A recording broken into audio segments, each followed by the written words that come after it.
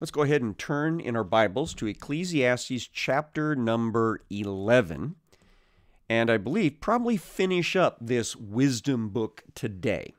I believe that it was written by King Hezekiah as a response to his life crisis, where he found that he was going to die, begged God for more time, was given 15 more years, which no doubt he celebrated over but then recognized that after the 15 years, he was still going to die.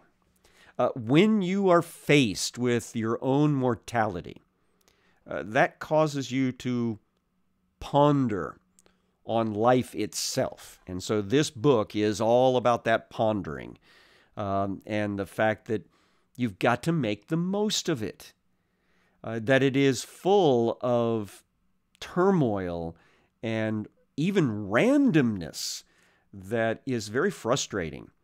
And you can't let that get you down. You've still got to follow God's wisdom and trust Him that it'll all work out in the end. So, Ecclesiastes chapter 11, verse 1 says this Cast your bread upon the waters, for you will find it after many days. Now, this is not talking about taking a loaf of bread and going out to the river and just tossing it on there and then going back later to see if it comes back, because more than likely it's going to be gobbled up by the ducks and the geese. Uh, this is talking about planting procedures. Uh, it's very prominent for the planting in Nile, uh, uh in Egypt, but it happened in other places as well that when you have kind of a, a flood time, that this would bring new, rich sediment into a field, and you would immediately plant into that sludge, that that uh, that sediment, and then your crop would grow up, and it would produce fruit, and you'd go back and get it uh, at harvest time. And so it's basically the idea of plant at the best possible time so that you can get a return on it. So it's thinking about the future and doing some reasonable planning. That's appropriate. Uh, verse 2 Give a portion to seven, even eight, for you know not what disaster may happen on earth. So divide your stuff up over, you know, different areas. Uh, they use this term diversify when they're talking about your stock portfolio because you don't know what might happen to one sector of the stock market. And if you're diversified, you'll be okay because the risk has been spread out. That's what he's talking about here. Uh, more than likely, he's talking about you don't keep all your animals in the exact same field and you don't plant only one field, you plant plenty of fields because you don't know what's going to happen in the future. Verse 3 If the clouds are full of rain, they empty themselves on the earth. A little bit of a duh, isn't it? Uh, it's going to rain when it rains, right? If a tree falls to the south or to the north, in the place where the tree falls, there it will lie.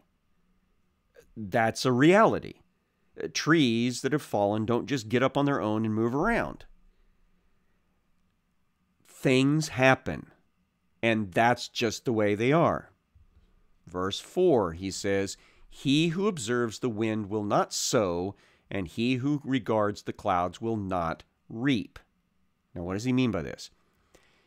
When they sowed their seed, uh, they did it by hand.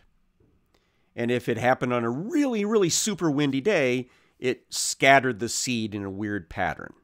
And so sometimes you would kind of pay attention to whether or not the day was windy. But if you always went, well, there's a wind blowing it today, I don't want to go out there and take a chance that it's going to scatter my seed wrong. If every single day you got up and said, "No, it's it's windy today. No, it's windy today." Well, it might be windy for all the different days. If you only do that over and over and over again, you'll never get the seed into the ground and you'll never be able to harvest. Uh, the regarding the clouds here is the idea that if you're saying, ah, oh, it's a cloudy day, it looks like it's going to rain, it's going to be bad weather, I can't go out there and reap my harvest. Well, if you keep doing that repeatedly over and over and over and over again, you're never going to get the harvest in. There are some risks that you have to take. You have to pull the trigger, as we say, at some point and get the job done and take the chance that maybe some random thing is going to uh, uh, take away from your efforts. You can't control it. Verse 5 As you do not know the way the Spirit comes to the bones of the womb of a woman with child, so you do not know the work of God who makes everything. We know that the first man came into existence in this fashion. God formed his body out of the dust of the earth, the material of him, out of the, the elements of earth. And then he blew into him, into his nostrils, the breath of life, and he became a living soul. We know that's how the first human being came into existence. Second human being came into existence by God taking some of the physical matter of that first human being and then making another body and presumably breathing into her nostrils the breath of life, and she became a living soul. But God put into them the ability to reproduce. And He actually told them that they needed to do that be fruitful and multiply, fill the earth. This scripture is basically saying we don't understand how that next process happens that somehow a physical baby comes into existence in the womb of the woman and the breath of God, the life force of God, comes into that baby. I believe it all happens at conception. But we don't see that happen. Even if you were to be able to time it in such a way that you could uh, watch the moment inside the woman's womb that the egg became fertilized. You wouldn't, through that observance, be able to see God's power of life come into the child. It's just one of those things we have to take for granted. Uh, it's beyond our physical senses. Verse number six If in the morning sow your seed, and then at evening withhold not your hand, for you don't know which will prosper, this or that, or whether both alike may be good. Uh, so, it's, again, the idea of diversification, spreading things out. Uh, you don't know if planting the seed first thing in the morning is going to have the best produce, or planting the seed at the end of the day, or planting the seed in the middle of the day. You don't know. So it doesn't hurt to just do it at all those different times and uh, let them grow up. Verse 7 Light is sweet, and it is pleasant for the eyes to see the sun. Think about that. Uh, again, I believe that this is Hezekiah writing this, and uh, the sun for him is symbolic of life because it's, you know, another day. Well, it's great to be able to get up in the morning, open your eyes, and see another day. It's a sweet thing to have another day given to you by God. And every last one of us need to acknowledge that. Verse 8 So, if a person lives many years, let him rejoice in them all. So be happy with the life you get. But let him remember the days of darkness will be many. All that comes is vanity. So even though we're advised to make the most of life, enjoy the good days as they come, be aware there's going to be bad ones as well. It's a mixed bag, life is. and everything is vanity. It's not that it's worthless. I think I've repeated that enough now. It's that it's out of our control. We cannot take it and shape it and jam it in a box and save it for later. It's to be lived in the moment. Verse 9 Rejoice, O young man, in your youth and let your heart cheer you in the days of your youth. Walk in the ways of your heart and in the and the sight of your eyes, but know for all these things God will bring you into judgment. So here he's writing to younger people, people that are just getting started on probably their adult life. He says, guys, enjoy your lives. Enjoy your young life. Um, again, I, I, remind you that I'm recording this uh, many weeks before you actually hear it.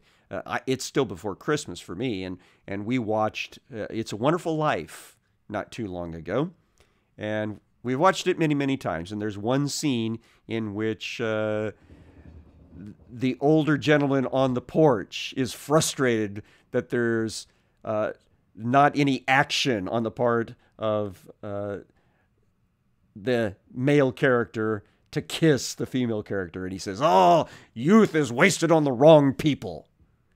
That's what is being written here is you young people, you need to make the most of your life because you've got the strength, you've got everything in front of you to enjoy it. So don't waste it, but understand as you live it this reality. You will have to answer to God for how you lived it. So you remember how the conclusion is coming up soon.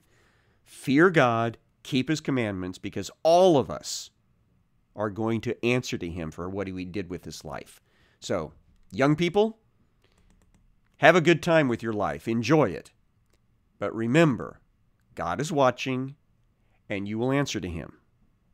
Verse 10 Remove vexation from your heart, and put away pain from your body, for youth and the dawn of life are vanity. Again, still talking, I think, to the younger person. Uh, get get all that bad stuff out of your life, and yes, you have some pain in there. Push past that, but remember that you are getting older and you can't control life. So enjoy it now while you can. And that introduces chapter number 12, the final chapter. And it is targeted to the younger people who may not understand how precious life is when they're in the middle of it. And so here are the older people talking back to them.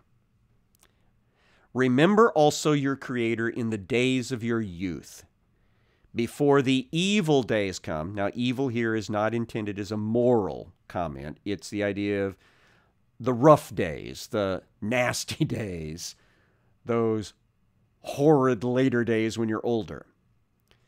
So remember your Creator in the days of your youth, before the evil days come and the years draw near of which you say, I have no pleasure in them meaning when life is not as happily lived, when your body doesn't want to cooperate as much, and there's aches and pains aplenty. Now, I used to think uh, like a young person, and I didn't worry about what the future held. But here I am at the beginning of my 60s, and I'm realizing there's a lot of aches and pains that come with being older. And there's not a day that goes by that I don't have aches and pains. And so I would join in with the writer of Ecclesiastes to tell you younger people hey, enjoy life before the aches and pains come. Verse 2 Before the sun and the light and the moon and the stars are darkened, and the clouds return after the rain. Now, he's engaging in some metaphors here, some similes, some symbolic language.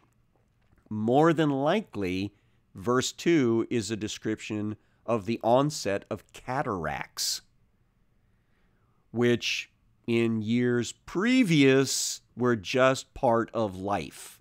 There wasn't much you could do about it. And so the light of the sun, the light of the moon, and the stars uh, all got clouded over by the coming of the cataracts on the eyes in older age. Verse 3 In the days, uh, in the day when the keepers of the house tremble. That's a reference to the hands. And some people develop these tremors as they get older. Not always related to Parkinson's or something like that. It, it, it's related to other less threatening and debilitating diseases, but it's still just as irritating. And the strong men are bent. Osteoporosis, uh, the slumping over of the backbone uh, that can sometimes come in older people, particularly among ladies. And I'm sorry about that, ladies. Uh, make sure you take all your vitamins and uh, get plenty of good calcium, okay? But here, we're speaking to the younger people. You better enjoy life before old age starts bending you over. And the grinders cease because they are few. That's talking about the teeth. Uh, these people ate uh, years and years of stone ground wheat and barley, and those bits and pieces would get in and grind their teeth down. And so a lot of them would lose their teeth as they became older. That was just part of getting older. And those who look through the windows are dimmed. Eyesight uh, is not only affected by cataracts, it can be affected uh, by changes in, in the shape of your eye. This is one of the reasons why uh, when you hit your 40s, uh, m- many of us suddenly need different types of eyewear. Uh, and we need bifocals and trifocals and reading glasses. Hey, young people, enjoy your eyesight while you're young because it's going to change when you get older. Verse 4 And the day the doors on the street are shut uh, when the sound of the grinding is low, and one rises at the sound of the bird, and all the daughters of song are brought low. Uh, again, kind of playing on some things here. It, it sounds like he's talking about life in the city and things happening, but he's actually also talking about the fact that the hearing starts to go. And uh, I I've noticed this. I sometimes have to ask people to speak a little bit louder or repeat themselves. Uh, and one of these days, I'll probably have to break down and get myself some type of hearing aid. That's just par for the course. Uh, but that's what he's talking about. It's part of getting old. Uh, rising up at the sound of the bird. Hey, how many of us, when we're older, start getting up way too early in the morning? Uh, I am constantly waking up earlier than I intend to, and then can't get back to sleep. It's it's something that older people talk about with one another. It's just the way it works, folks. So younger people enjoy a good sound sleep while you're young because it won't always be there. Verse 5 They are afraid also of what is high, and terrors are in the way.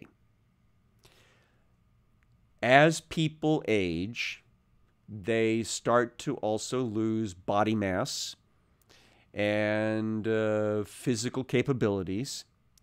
And even some of the people that was that were the most courageous and strong suddenly realize that they could not defend themselves like they used to.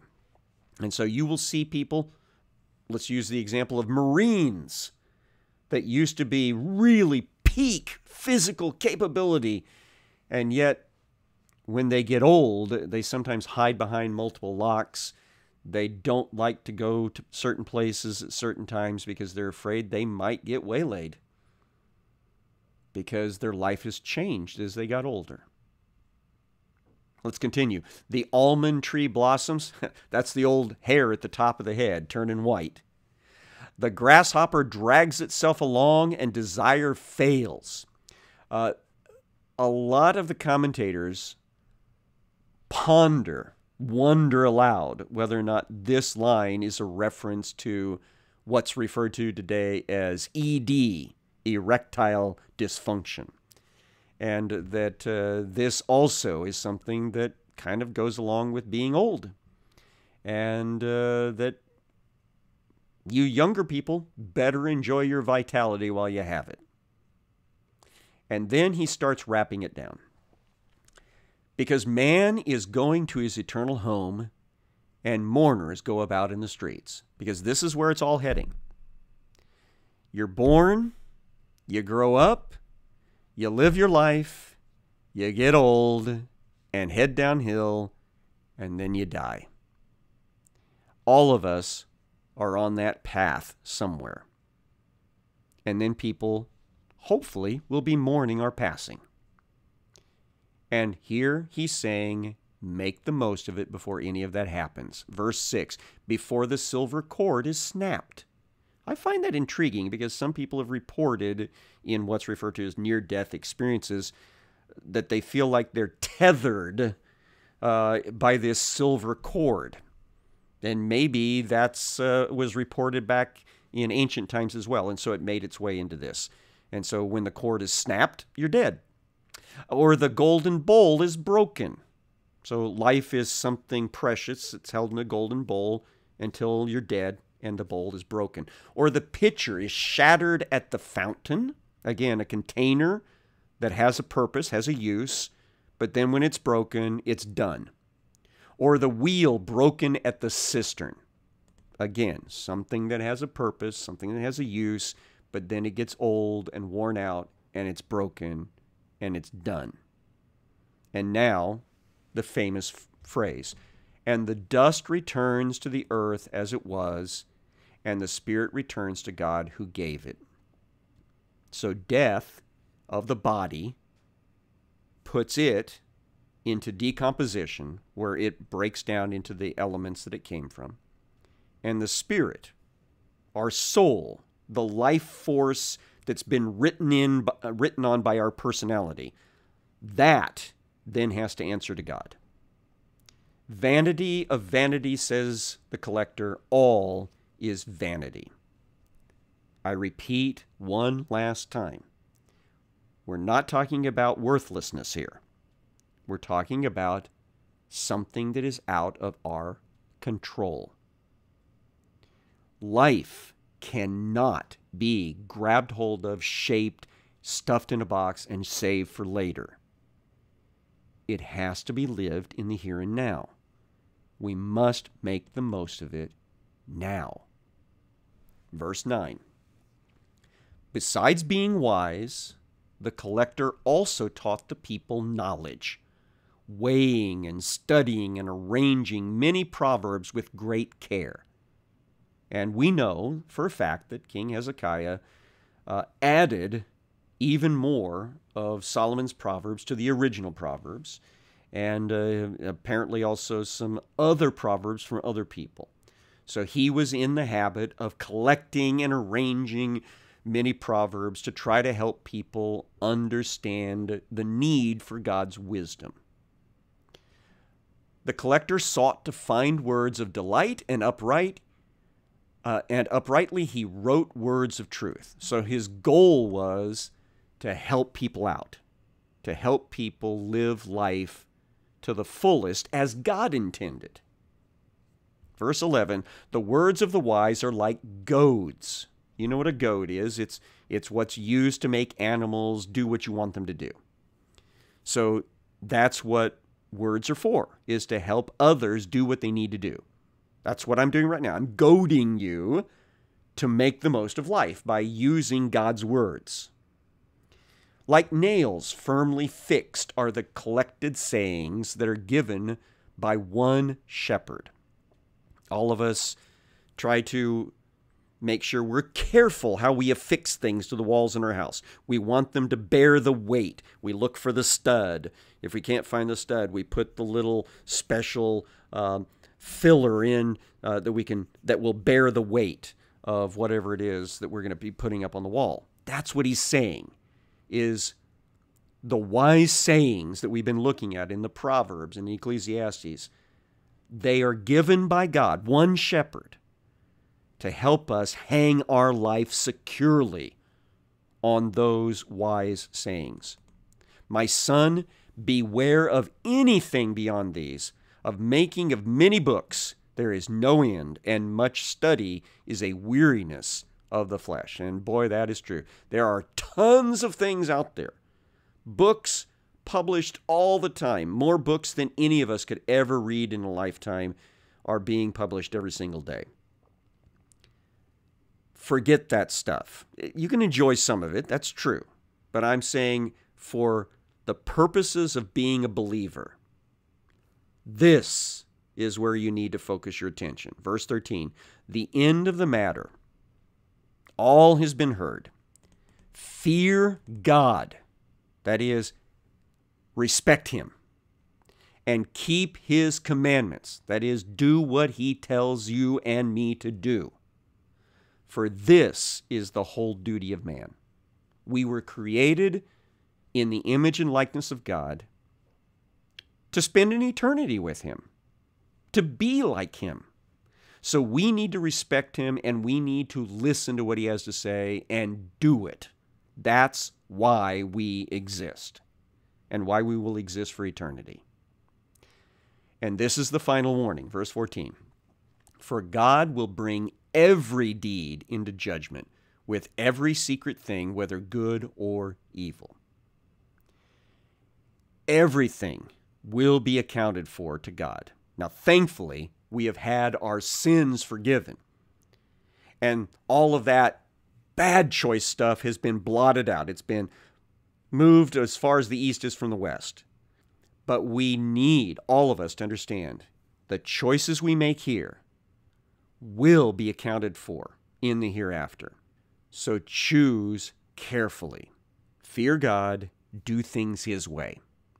That brings Ecclesiastes to the end. Tomorrow we'll get back together and talk about Hezekiah coming to an end.